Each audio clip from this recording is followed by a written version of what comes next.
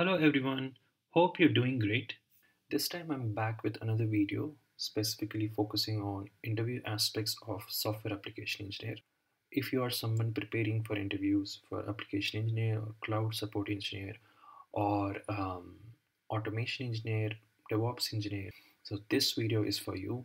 Uh, please do watch until the end. Uh, and whatever I'm going to present in this video is from my personal experience. So yeah. So what makes this interview different from any other IT role or software development roles?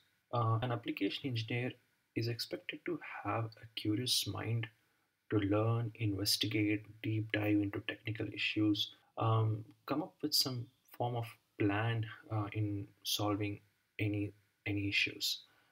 And in the process, they have to go through different documents, um, gather a lot of information, um, so they are expected to have a good attention to detail.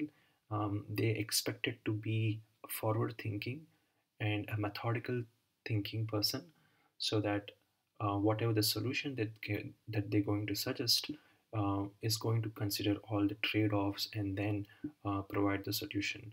And of course, they are expected to have the uh, problem solving skills, uh, root cause analysis, troubleshooting. Troubleshooting is specific to a different system, so it might vary uh, based on the role.